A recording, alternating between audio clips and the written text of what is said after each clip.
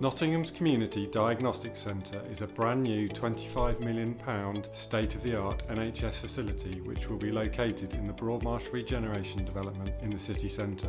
Funded by the Department for Health and Social Care and run and staffed by Nottingham University Hospitals, the centre is designed as a one stop shop for checks, scans, and tests in a convenient location. This new centre will allow people in Nottingham and Nottinghamshire to be seen more quickly meaning patients can begin any treatment if required sooner. When it reaches full capacity, the facility will provide in excess of 140,000 appointments annually and will be vital in reducing the backlog of patients waiting for their diagnostic appointments. GPs will be able to order diagnostic services such as MRIs, CTs, X-rays, ultrasounds, echocardiography, ECGs and lung function testing. This will allow for more rapid diagnosis of conditions such as cancer, which in turn will help patients access the life-saving treatments they need more quickly.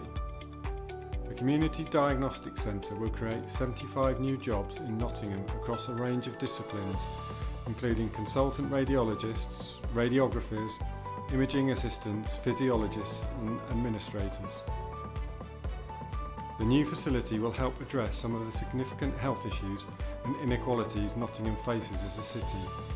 People will be able to access vital health services right in the centre of the city, near to the new bus station and car park and a short walk from the train station.